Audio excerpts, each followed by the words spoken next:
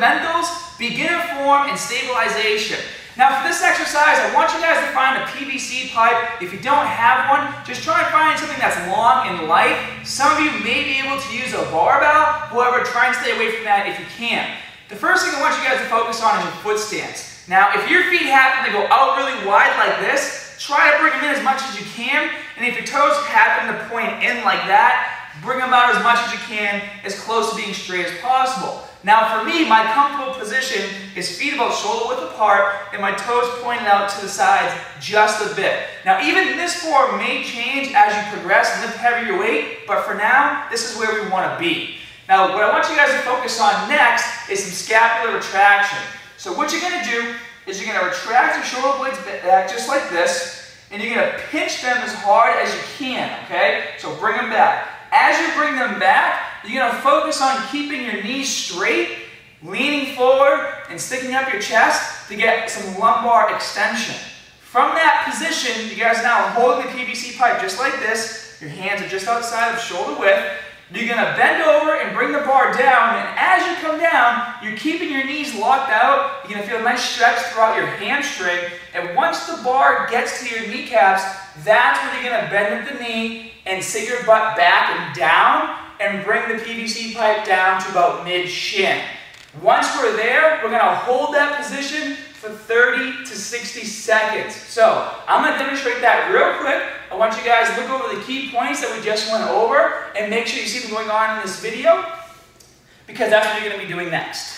So I'm going to stand, get my feet set up, I'm going to bring my shoulder blades back just like this, keeping them pinched. Now, one thing I do want to say you're not bringing them back and up and pinching them up here. You're bringing them back and down and pinching them like that. So my hands are just outside of shoulder width. And I'm keep my legs straight. And I'm going to come down. Once the bar hits my knees, that's when I'm going to bend and sit back just like this. I'm going really slow just to show you guys. And I'm going to stop about mid-shin, just like that. In this position, I want to be able to sit here and hold it for 30 to 60 seconds. One other key point I want to point out is as you guys are coming down like this and you start to sit, you want to fight the urge for your knees to buckle in. You want to push those knees out to the sides. So do it again real quick. Coming in just like that and then sitting into this position. Now, if you can't hold that position that well, it's probably because you have some tightness going on in your body and you need to do some stretching. We actually have a video of myofascial release that you guys can check out right here, and it'll really help loosen you up so you can do this form properly. Okay? Now, one more thing I want to show you guys before we work on the up position is how my back looks while doing this. So, against my position, shoulders back,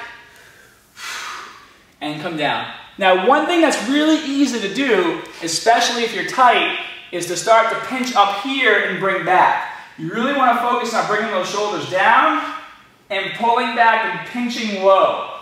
Now, it can be difficult to do for some of you.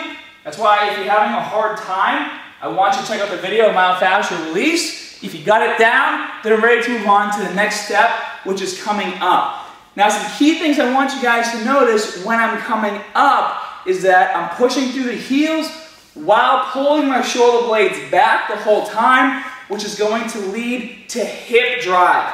Now, hip drive is super important when doing this because if you guys bring the bar up with your knees straight, it's turning the exercise into a Romanian deadlift, and that's not what we're doing here. So it's going to be a fluid motion. Come down, Sit back, shoulder blades back, chest is up. I'm going to maintain a neutral spine while I do this too. I'm going to come up. As I come up, everything's moving at once. I'm keeping the bar as close to my body the whole time.